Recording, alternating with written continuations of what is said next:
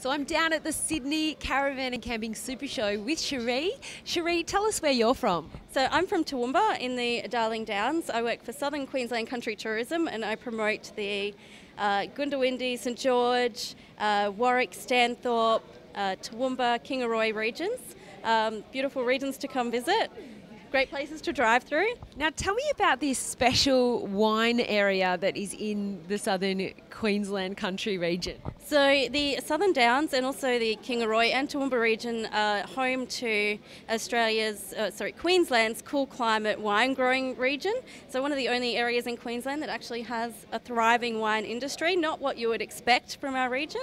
Um, but yeah, certainly a lot of wineries in our area. A good place to come up and visit and sample and taste the local produce and experience uh, the life in the country. Now, what's it like getting there with a caravan in tow? Caravanning is quite accessible for our region. It's a great place to drive through um, and to obviously to stop and to take the time to explore. We have a lot of infrastructure available for our caravanning and camping uh, people and a lot of activities to do along the way. Now, you're inland from the coast, which is what most people don't think of when you think of um, Queensland country. Uh, what's, what's some of the highlights of the region?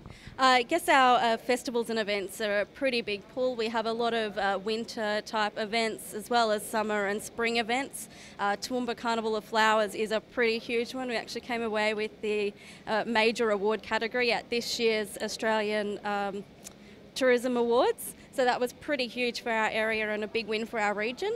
Um, we also got festivals like Jumpers and Jazz, the Apple and Grape Festival in Stanthorpe, and a number of other different uh, festivals and events in the in the Western Country areas and Kingaroy as well. Sounds beautiful. Now you mentioned Goondiwindi as a, cotton picking area. What?